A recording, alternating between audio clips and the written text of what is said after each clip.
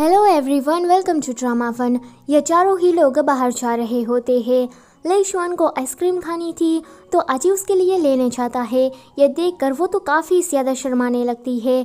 हवी उसे देखकर कहता है कि इस लड़की का तो कुछ भी नहीं होने वाला। आगे हवी एंड काइची बातें कर रहे होते हैं। हव्वी उसे कहता है कि, काइची, तुम तो सच में अनलकी हो। सारी चीज़ें तुम्हारे खिलाफ ही क्यों हो जाती हैं? सच में, तुम्हारे पास तो बैड लक है। काइची ये सुनकर उसे मारने लगती है। ये दोनों भी पीछे मुड़कर उन दोनों को ऐसे मस्ती करते हुए देखते हैं तो आजी को चलन होने लगती है। लेशुआन ये बात नोटिस कर लेती है एंड उसे काफ़ी बुरा लगता है। लेशुआन के हाथ में जो आइसक्रीम थी, वो पिघलने लगती है एंड उसका पूरा हाथ खराब हो गया था। तो वो कहती है कि मैं हाथ धोकर आई। हाँ वी लेशुआन के पीछे जाता है। अब आजी एंड काइची दोनों को ही अकेले में बात करने का मौका मिल जाता है। पर दोनों में से कोई भी कुछ भी बात नहीं कर रहा था। काइची वहाँ से जाने लगती है, पर बारिश हो जाती है। तो आजी काइची को अपने कोट से कवर करके किसी सेफ़ प्लेस पर लाता है। यहाँ पर उन दोनों की थोड़ी बातचीत होती है। आज ही कई चीज़ रिक्वेस्ट करता है कि तुम शेफ और मैं तुम्हारा इंटर्न क्या हम दोनों इस रिश्ते में एक दिन के लिए नहीं रह सकते? कैची मना करती है तो वो कहता है कि सिर्फ़ एक दिन के लिए तो वो एक दिन के लिए मान जाती है। बारिश में भीगने के कारण इन दोनों के कपड़े खराब हो गए थे, इसलिए ये दोनों पहले तो कपड़े खरीदने चाहते हैं। कपड़े चेंज करने के बाद ये दोनों ग्रोसरी खरीदने चाहते हैं। बाद में घर आकर डिनर प्रिपेयर करते हैं। खाने के टाइम पर काइची कहती है कि, आज, तुम मुझसे कब प्रॉमिस करो कि आज के बाद हम दोनों एक दूसरे से कभी नहीं मिलेंगे? और मैं लेशवन को ट्रेनिंग दे रही हूँ तो तुम इस बीच में कभी भी मत आना। हम दोनों एक ऐसे फ्रेंड की तरह रहेंगे, जो कि सिर्फ़ ग्रीट ही करते हो। आजी कहता है कि मैं ये नहीं करूँगा तो कैची कहती है कि लेशवान अभी ठीक नहीं हुई है, और तुम्हारे लिए ये बहुत ही ज़्यादा मुश्किल होगा कि कंपनी का काम संभालना और लेशुआन को ट्रेन भी करना। तो मैं तुम पर बर्डन नहीं डालना चाहती, इसलिए मैं ऐसा कह रही हूँ। तो आजी कहता है कि मुझे खुश रहने का हक है, और मेरी सारी खुशियाँ तुमसे जुड़ी हुई है। कैची कहती है कि, आजी, तुम वो इंसान नहीं हो जो कि शेल्फिस बन जाए और सिर्फ़ अपनी खुशियों के बारे में सोचे। तुम तो ऐसे इंसान हो जो कि सबके बारे में सोचते हो। एंड मैं तुम्हें अच्छी तरीके से जानती हूँ।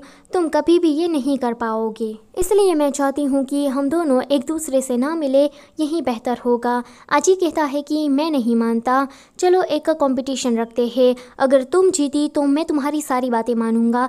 पर अगर मैं जीता तो तुम्हें मेरी बात माननी पड़ेगी। आगे ये दोनों पंजा लड़ा रहे होते हैं। ये दोनों ही एक दूसरे की ओर देख रहे होते हैं। काइची अचानक से ही उसे किस कर लेती है। एंड उसका हाथ नीचे कर देती है। वो कहती है कि मैं जीत गई। अजी कहता है कि यह तो चीटिंग है। पर ये तो सिर्फ़ एक गेम था। अभी और गेम्स खेलने बाकी है क्योंकि ये दिन अभी पूरा नहीं हुआ है। आगे ये दोनों पोकर गेम खेल रहे होते हैं, जहाँ पर इन्हें एक फनी फेस बनाना होता है। आजी इस गेम में हार जाता है। आजी कहता है कि अब तुम्हें मेरे हिसाब से चलना होगा। वो एक चोको स्टिक लेकर आता है कहता है कि जिसकी भी ये स्टिक सबसे ज़्यादा छोटी होगी, वो जीत जाएगा। पहला राउंड स्टार्ट होता है। कैची थोड़ी स्टिक बचा लेती है, पर वो छोटी ही थी। आगे आजी की बारी आती है। आजी तो यहाँ पर चीटिंग कर देता है। वो कैची को किस करके पूरी स्टिक खा जाता है। कहता है कि मैं जीत गया। अब इन लोगों ने जितने भी गेम्स खेले थे, उन सभी का नतीजा ये आता है कि इन दोनों के बीच टाई हुई थी। जाने के टाइम पर लास्ट में काइची उसे रिक्वेस्ट करती है कि, आजी, क्या तुम मेरा सर सहला कर? क्या तुम मेरी थोड़ी तारीफ़ कर सकते हो? तो वो ऐसा कर भी देता है। अब ये दोनों यहाँ से अलग हो जाते हैं। अगले दिन काइची लेशुआन को ट्रेन करने के लिए गई होती है। कैची जब वहाँ से चली जाती है तो उसके जाने के बाद आजी लेशवान के पास आता है। लेशवान आजी को देखकर बहुत ही ज़्यादा खुश हो जाती है। जब आजी उसे ट्रेन करके वापस जाने वाला था तो हावी उसे रास्ते में मिल जाता है। हावी उसे कहता है कि, अगर तुम लेशवान को पसंद नहीं करते हो तो उसकी और इतना अच्छा भी मत बनो। आजी उसके जवाब में ये कहता है कि मेरी वजह से उसका टेस्ट गया है तो मैं बस उसकी ज़िम्मेदारी लेना चाहता हूँ। मेरे मन में उसके लिए कोई भी ऐसी फीलिंग नहीं है। लेशवान ये बात तो सुन लेती है। उसे बुरा तो लगता है, पर वो एक स्माइल के साथ आजी के पास आती है। वो आजी से कहती है कि कल मेरा बर्थडे है तो तुम्हें मेरे बर्थडे पर आना होगा और पूरा दिन मुझे देना होगा। तो वो कहता है कि हाँ। अगले दिन कैची जब उसे ट्रेन करने के लिए आती है तो उसे भी पता लगता है कि आज तो लेशवान का बर्थडे है। अब ये तीनों ही मिलकर खाना खा रहे होते हैं। ले शुआन कहती है कि, काइची, अगर तुम उसे पसंद नहीं करती हो एंड आगे चलकर तुम दोनों का रिश्ता ऐसे ही रहने वाला है तो क्या मैं आजी को कन्फेस कर सकती हूँ? ये सुनकर कैची वहाँ से चली जाती है। उसके जाने के बाद ले लेशवान आजी से कहती है कि, मैं तुम्हें बहुत ही ज़्यादा पसंद करती हूँ। एंड ये बात वो तीन चार बार बोल देती है। कैची रुक जाती है एंड उन दोनों को दूर से ही देखने लगती है। लेशवान आजी को किस करने के लिए चाहती है पर आजी उसे नहीं करने देता। आजी उसे कहता है कि लेशवान तुम कितनी भी बार ये शब्द मुझे कह लो, पर मेरा जवाब एक ही रहेगा। नो। ये सुनकर रोते हुए लेशवान वहाँ से चली जाती है। चीफ ने सीसीटीवी के ज़रिए ये सब कुछ देख लिया। वहाँ पर लेशवान आती है एंड रोने लगती है। आजी लेशवान के पीछे गया होता है। यहाँ पर लेशवान उसे कहती है कि आजी का मैं बस टेस्ट लेना चाहती थी। मुझे लगा कि मेरा चांस यहाँ पर एक बार बन सकता है, पर मैं भी क्या सोच रही थी? मैं तो कितनी स्टूपिड हूँ। मुझे पता था कि आजी मुझे रिजेक्ट ही कर देगा, पर फिर भी मैंने उसे पूछा। यह सुनकर चीफ उसे संभालने लगता है। आजी नीचे आ जाता है। कैची कहती है कि लेशवान ठीक है। वो कहता है कि, मुझे पता नहीं है। तभी ही वहाँ पर चीफ उसे लेकर आता है। वो कहता है कि, ले शुआन, तुम दोनों को देखना नहीं चाहती, इसलिए मैं उसे ले जा रहा हूँ। आगे ये दोनों ही रेस्टोरेंट को बंद करके वापस जाने वाले थे। उन दोनों को कुछ आवाज़ आती है तो कई चीज़ झट से अंधेरे में देखने के लिए चली जाती है। वहाँ पर शवशु था। वो कहती है कि तुम यहाँ पर क्या कर रहे हो? वो चुप था। तो कैची कहती है कि अच्छा तो तुम ही वो थे जो कि पैसे चुरा कर चले जाते थे एंड बाद में पैसे रख भी देते थे। तो शवशु उसे कहता है कि, ये मेरे ग्रैंड पेरेंट्स के लिए है। मुझे उसके इलाज के लिए ये सब कुछ करना पड़ रहा है। तो कैची कहती है कि कोई बात नहीं, मैं ऐसा नाटक करूँगी कि मैंने कुछ देखा ही नहीं, पर एक प्रॉमिस करो कि आज के बाद से तुम ऐसा कुछ भी नहीं करोगे। शौसू से थैंक यू कहता है, वहाँ से चला जाता है। कैची जब बाहर जाने लगती है तो वो देखती है कि आजी तो उसके पीछे पीछे अंदर तक चला आया। इन अंधेरे के कारण वो डरने लगा है। वो उसके पास जाती है तो आजी चिल्ला देता है कि तुम क्या सुपरमैन हो कि अंदर तक चली गई? वो चोर तुम्हें हर्ट भी तो कर सकता था ना? कैची कहती है कि अंदर कोई नहीं था मैं ठीक हूँ, पर बाहर जाकर अजी देखता है कि कैची के हाथ में चोट लग गई है।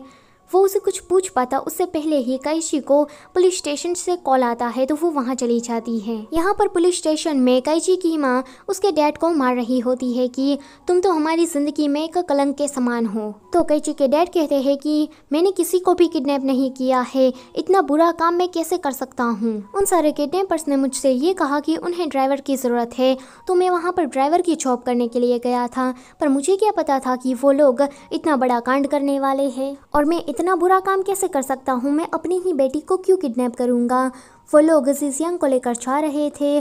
जब वो लोग रास्ते में रेस्ट करने के लिए रुकते हैं तो जीजियांग वहाँ से मौके का फ़ायदा उठाकर भागने लगता है, पर एक किडनैपर उसे कार से हिट कर देता है।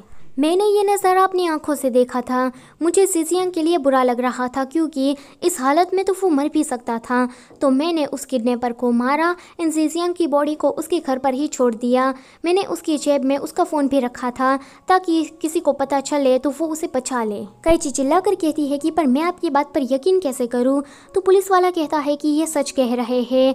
ये मास्टरमाइंड नहीं है। जीजियांग इसकी ही वजह से बचा है। अगर तुम्हारे डैड ने जीजियांग को नहीं बचाया होता तो वो आज मर भी सकता था। साथ ही साथ में पुलिस वाले ये भी कहते हैं कि तुम्हारे डैड भले ही मास्टरमाइंड ना हो, पर उसने गुनाह किया है तो उसे थोड़ी सज़ा तो मिलेगी ही। जाते टाइम कैची के डैड उसे कहते हैं कि, कैची, मैं इतना बुरा बाप भी नहीं हूँ। जब मैं जेल से छुट कर वापस आऊँगा तो मुझे तुम्हारे हाथों का बना खाना खाना है। काइची ये सुनकर थोड़ा इमोशनल हो जाती है। काइची फिर अपने घर के बाहर ऐसे ही बैठी थी। हवी वहाँ पर आता है। काइची उसे देखकर कहती है कि जब भी मुझे किसी दोस्त की ज़रूरत होती है, तब तुम हमेशा ही मेरे साथ होते हो। वो कहती है कि हवी मुझे एक सहारे की ज़रूरत है। क्या तुम मेरा वो सहारा बनोगे? वो उसे कुछ कह पाता। उससे पहले ही काइची उसके ऊपर सर रख देती है। दूर से उन्हें आजी भी देखता है। आजी कैची के लिए मेडिसिन लाया था क्योंकि उसके हाथ में चोट लगी थी, पर जब वो ये नज़ारा देखता है तो वो बिना कुछ बोले वहाँ से चला जाता है। आगे हम देखते हैं कि कैची एंड हफी रेस्टोरेंट गए होते हैं। यहाँ पर कैची उसे सब कुछ बता देती है उसके डैड के बारे में। तो हफी उसे कहता है कि ये बात पहले तुम्हें मुझे नहीं बतानी चाहिए, आजी को बतानी चाहिए। तो वो कहती है कि अब बहुत ही ज़्यादा देर हो गई है। मैं आजी को कैसे बताऊँ कि मेरे डैड ने कुछ नहीं किया है? पर उसका भाई से जियांग, वो तो अभी तक ठीक नहीं हुआ है ना? या चाहे मैं उसे कुछ भी नहीं बताने वाली, आजी को मैं गलत फहमी में ही रहने दूँगी, इसी तरह से वो मुझसे दूर हो पाएगा। पर अगले दिन, हवी जाता है आजी के पास, एंड उसे उसके डैड के बारे में सब कुछ बता देता है। अजी तो बड़ा ही खुश हो जाता है, वो कहता है कि इसका मतलब ये है कि मैं और कैची फिर से एक हो सकते हैं। तो हवी कहता है कि रुको, ज़रा सबर करो। आज से तुम कैची को परस्यू करने की पूरी पूरी ट्राई करो, मैं भी करूँगा। अगर कैची तुम्हें लिफ्ट नहीं कराती तो मैं कैची को लेकर चला जाऊँगा। फिर तुम उसकी ज़िंदगी में दोबारा कभी भी मत आना। एंड अगर कैची तुमसे इम्प्रेस हो जाती है तो मैं हमेशा हमेशा के लिए चला जाऊँगा। अब इन दोनों के बीच ये बैट लग जाती है। आगे हम देखते हैं कि हफी कैची को लेकर उसके रेस्टोरेंट में आया होता है। वो उसे कहता है कि मैं जल्दी ही अपना रेस्टोरेंट ओपन करने वाला हूँ, इसलिए मुझे थोड़ा फ़ेमस होना पड़ेगा। कैची उसकी बात को समझ नहीं पाती तो हवी उसे समझाते हुए कहता है कि तुम मेरे रेस्टोरेंट की हेड शेफ़ होने वाली हो। तो हेड शेफ़ होने के नाते तुम्हें किसी से कंपटीशन करना पड़ेगा जो कि ताइवान का सबसे बड़ा जाना माना शेफ़ होगा। अगर हम उसे कंपटीशन करते हैं तो ज़रूर हम फ़ेमस हो जाएँगे। कैची कहती है कि हाँ तुमने तो बिल्कुल सही कहा। एंड कॉम्पिटिटर के रूप में आता है आजी। कैची तो उसे देखकर बहुत ही ज़्यादा शौक हो जाती है। सो so, इसी के साथ ये वाला एपिसोड होता है यहीं पर ही ख़त्म। Don't forget to like share and subscribe thank you for watching